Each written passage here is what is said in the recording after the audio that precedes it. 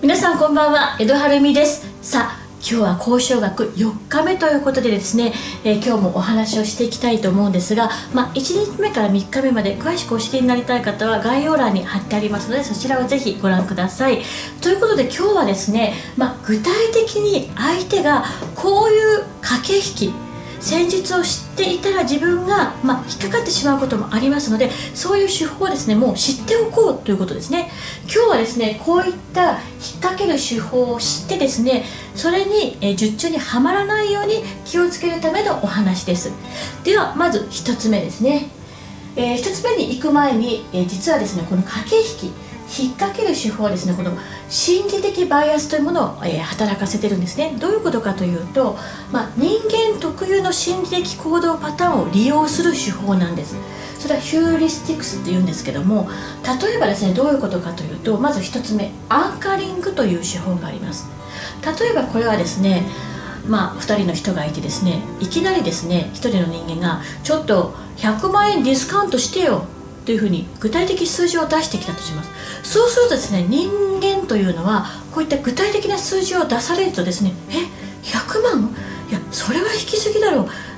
だったらってその数字を基準にしてしまうんですね反射的に。慌ててしまって。でですねいやいや100万はちょっと引きすぎでしょじゃあ半分の50万ならどうですか？というふうにですねもう相手が提示もう先行で提示した額を基準に、えー、じゃあ半分だったらとかいやもうちょっと80万だったらそれを基準にしてしまうんですね。ですからこれはもうある種引っ掛けなんです。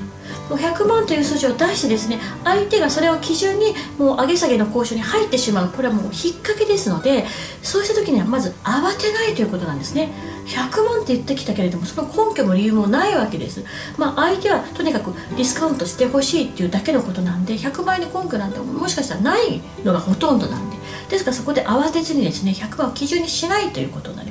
ます。ですからその時にはいやいやあそれはちょっとまあなかなか難しいですよっていうふうに落ち着いてですねもともとの自分の交渉したい額それを崩さないということです。冷静に対応していくということが大事だということなんですね。さあ2つ目はですね good cop bad cop 言ってもですねこの飲むコップではありません。これはそもそもコップというのはまあ警察官という意味ですね。そもそも交渉学というのは、まあ、ハーバード大学から研究されて、え入ってきたものですね。アメリカのものですのでこのグッドコップバッドコップの警察官ということがあのまず軸になっている手法なんですね。どういうことかというと、まあ、2人の警察官がですねこの自供する容疑者にですねおいまあ、1人がですね「おい吐け」まあ、強く当たるわけです。そうするともう1人の警察官が「いやいやそれはちょっとやりすぎだろうな。そんな言われても言えないよな」っていうふうに優しく振る舞うわけです。そうするとね最初にきつく言われてるわけですから優しくされた方にあこの人自分の味方だ。って思うわけです心が緩むわけですね。でそこでですねこう相手の実況を引き出すと。いうような手法ですのでこれはまあお分かりだと思いますがもうお二人はもうグルなんですね。ですからその手法でやってることだ。演技だということなんですね、はい、ですからそこから来てですね、まあ、ビジネスの交渉の場でもですね一人がすごくこう強く当たってくる。そしてもう一人がですねいやいやそんなこと言っても難しいですよねと。でもじゃあこういう提案だったらどうでしょうかっていうふうに優しく言われずですねああっとこの人にこう寄り添いたくなりますよね。でもこれはまあ手法だということです。演技だということですね。だからそれに安易に引っかからないように気をつけましょうということです。はい。じゃあ3つ目なんですけどもこのグッドコップバッドコップの1人版です。1人でやるバージョンなんですがこれはどういうことかというと例えばですねあのあこの交渉なかなか厳しいなと思った時にでも自分はいい人になるんですね。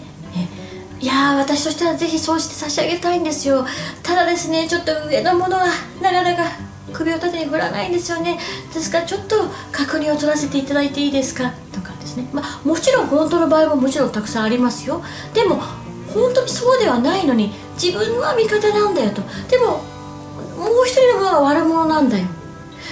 この人を交渉ね運を OK を出させたら難しいんだよっていう悪者を作ることでですねいやいや私は何とかしてあげたいんでじゃあこれだったらどうでしょうかと。これ一人演じですね。演技です。だからこういう場合もあるということです。もちろん本当に上に確認を取らなきゃいけない場合もありますので、まあ、全てがそうだとは言いませんけどもそういう手法あるということを覚えておいてください。そして4つ目ですね。4つ目。これもよくあるんですよね。タイムプレッシャーこれはどういうことかというと期限を迫ってくるんですね。例えばじゃあちょっと持ち帰ってよく考えてみます。というふうにこちらは言いたいんですけどもいやいやだったら3日以内に返事をくださいと。期限を区切ってプレッシャーを与えてくるんですね。そうするとですねあじゃあ3日以内に返事をしなきゃと。でこちらとしてはゆっくりいろんな材料を揃えて返事をしたいのにいや3日以内って言われるとあ3日以内なんだっていうふうに人間はこういう心理的なね、えー、行動をとってしまうんですね。ああそうなのかと思い込んでしまって。だからまだ何も本当はあの自分の中で答えが出せる時間十分ないのにあだったらあもうもういいやりますっていうふうに返事をしてしまったりそれはもう相手の術中にはまっていることです。引っ掛けですのでもう完全にあの相手のペースに飲み込まれてしまってますのでこういうタイムプレッシャーですね。あこれも仕掛けてるんだなというふうに分かってですね。ちゃんと自分の考える時間を確保してお返事をしますというふうに。焦らないということです。慌てずにそして自分のペースをあの相手方に譲ってしまわずにちゃんと判断をする時間なり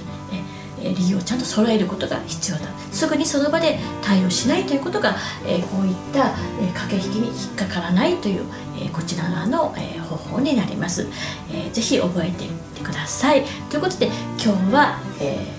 交渉学の中の駆け引きに引っかからない。あるいはこういった手法があるからそれに引っかからないように気をつけましょうというお話でした。さあということで以上がですね交渉学の4日目ということになるんですがまあこれまでですね交渉学のまあ本当に入り口の部分ですねお話をさせていただきました。でも実際交渉学というのはもう何日もわたって勉強するものそして資格もですね本当に筆記と実地がありますのでもっともっと内容が深くそして理念からそして目指すべき姿まで本当はもっと細かい内容はたくさんあるんですね。しかしですねこの数分間の動画でご紹介することはなかなか難しいのでこういった交渉学というものがありますよという本当に導入の部分のご紹介だというふうにご理解ください。もしご興味のある方はですね交渉学協会っていうものがありますのでそこでさらに勉強することもできますし本もたくさん出ていますのでぜひですねそういったご興味の入り口だと考えていただいて、まあ、興味のある方はさらに深掘りをしていってみてください。という以上でございました。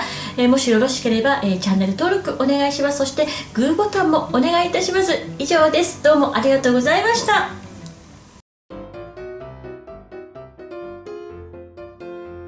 ご視聴ありがとうございました。チャンネル登録お願いします。